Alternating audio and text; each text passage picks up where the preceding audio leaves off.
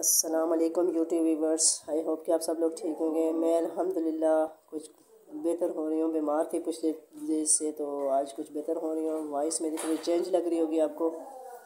तो ये है कि आज मैं बना रही हूँ चिकन चिकन कढ़ाई बना रही हूँ तो साथ साथ राइस भी बनाऊँगी अलग से।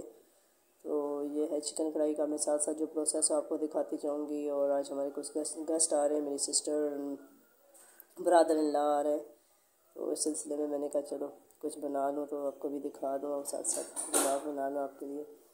ये देखें जी, कढ़ाई मैंने रेडी की है, और मैं साथ साथ चीज़ें प्रोसेस डालती जा रही हूँ।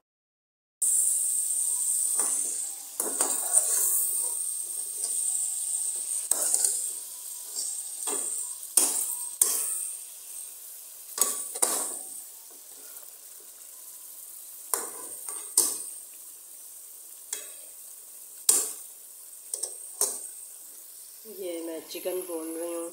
सबसे पहले मैंने इसको अनियन को फ्राई किया, उसके बाद चिकन डाला। तो इसके बाद मैं अब डाल रही हूँ। टमाटो डाल रही हूँ, इसके अंदर ऐड कर रही हूँ, ये देखें जी। टमाटो डालने के बाद इसको मैंने थोड़ा सा मिक्स किया और मिक्स करने के बाद इसके ऊपर मैंने ढक्कन रख देना है ताकि ये थोड़ा मल्ट हो जाए। निकल जाए। चिकन फ्राई हो रहा है। फ्राई होने के बाद इसके अंदर मैं थोड़ा सा पानी ऐड करूँगी।